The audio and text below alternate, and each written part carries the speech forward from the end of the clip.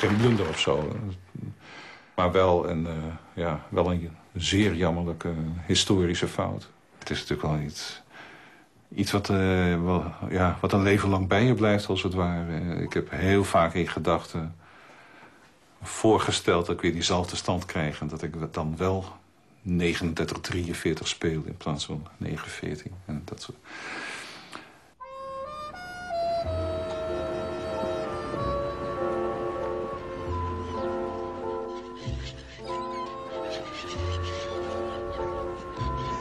Een carrière als wedstrijddammer die, die om uh, Nederlands kampioenschap, Europees kampioenschap of wereldkampioenschap strijdt. Uh, dat gedeelte, dat, dat ligt gewoon ja, achter me.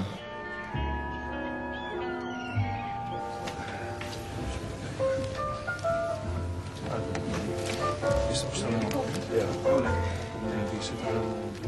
Dat heb ik niet gezien.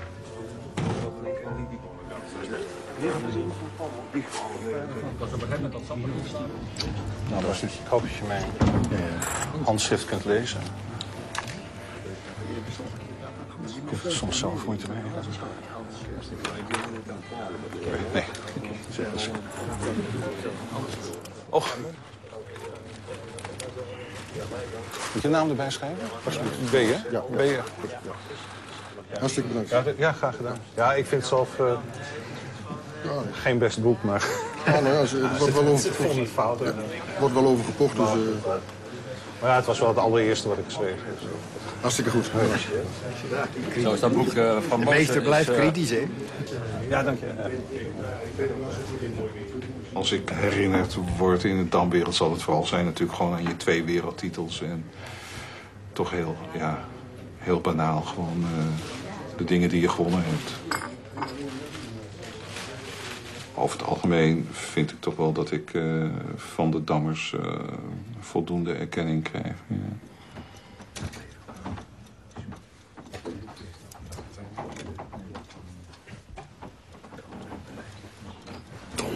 De grote Ton zal wel gaan binnen vandaag. Dat deze man uh, op het bord laat zien, dat, dan zijn wij allemaal maar hele eenvoudige prutsers we zijn het er wel allemaal over eens dat het hier een fenomeen betreft die tot de wereldtop behoort. Uh, en vroeger zeker, maar nu nog steeds. Zo niet de allerbeste speler aller tijden. Maar goed, dat zal hij zelf denk ik niet beamen. Iedereen van onze club hoopt op, uh, op een uh, partij tegen Cybrans. En ja, het is toch een van de sterkste spelers in de historie. Wat, jij liet straks een, een boek signeren van hem. Ik heb ik heb het boek een keer uh, gekocht op een uh, rommelmarkt. En uh, hij, heeft dat als een van de eerste boeken geschreven.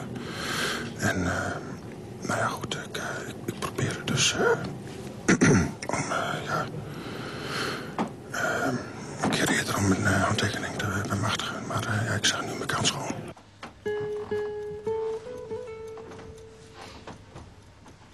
In het leven van iedere denksporter dient zich een moment aan waarop hij, hoeveel moeite dit hem ook kost en met hoeveel pijn in het hart dit ook gepaard gaat, er het verstandigst aan doet een punt achter zijn carrière te zetten. Het lijkt me immers beter te stoppen op een punt waarop ik qua speelsterkte nog altijd gerespecteerd word door zelfs de allergrootste van ons tijdsgevricht, in plaats van net zo lang door te gaan tot de concurrentie met recht meent dat de houdbaarheidsdatum van mijn loopbaan inmiddels is overschreden en mij achter het bord als aangeschoten wild gaat behandelen. Daar komt in mijn geval nog bij dat ik een missie te volbrengen heb waarvoor de tijd inmiddels aardig begint te dringen. Het in boekvorm vastleggen en vooral commentariëren van althans de beste, interessantste of anderszins meest gedenkwaardige van de bijna 2800 partijen die ik in mijn leven gespeeld heb. Dat megaproject gaat in het gunstigste geval 10 à 15 jaar vergen. En men hoeft de overlijdensberichten in de dagbladen er maar op na te slaan... om te weten dat het allerminst vanzelf spreekt... dat een dergelijke tijd van leven een mens ook daadwerkelijk vergund is. Misschien ben ik dan onrechte bang ik wil het op de een of andere manier vastleggen... en bij voorkeur op de chicste denkbare wijze. En ja, dat is voor mij boeken. Het streeft naar uh, tussen de 300 en 400 pagina's per deel. Zoals ik het nu heb inge ingedeeld... Per deel? Uh, per deel, ja. De eerste zes delen van die 16, daar heb ik, uh, ja, daar heb ik al werktitels voor bedacht. Maar dat wordt een rij van 16 boeken? Ja, voorlopig, Van ja. 300 pagina's? Ja, dan kom je op een gigantisch, uh, gigantische batterij boeken uit. Dus, ja, nee, ik heb ook zeer grote twijfels over de haalbaarheid van dit boekenproject. Ja, 60, nog een paar maanden en ik word 60. Ja, op die leeftijd dan, ja, hou je natuurlijk steeds meer rekening mee. Mijn grootste angst is natuurlijk uh, die angst die, uh, denk ik, alle mensen hebben. De angst om dood te moeten gaan op een moment dat het jou nog absoluut niet uitkomt. Kijk, als je op een gegeven moment een rampzalig bericht krijgt van je huisarts of je internist... dan weet je dat je in tijdnood zit. 40, 34. Maar als je dat bericht niet krijgt, weet je ook niet zeker dat je niet in tijdnood zit.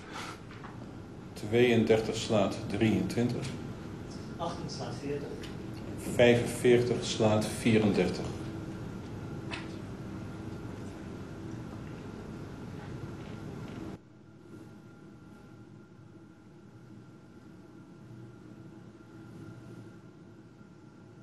Zevenendertig, eenendertig. 26 slaat 37. 42 slaat 13.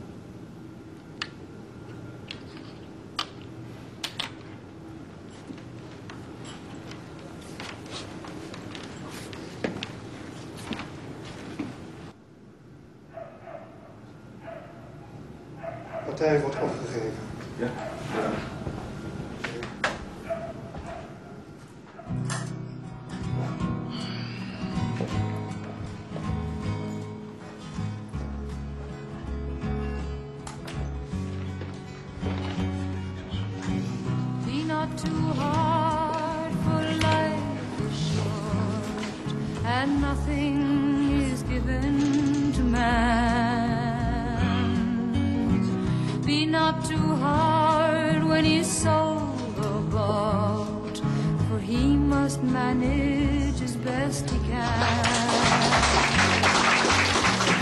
Not too hard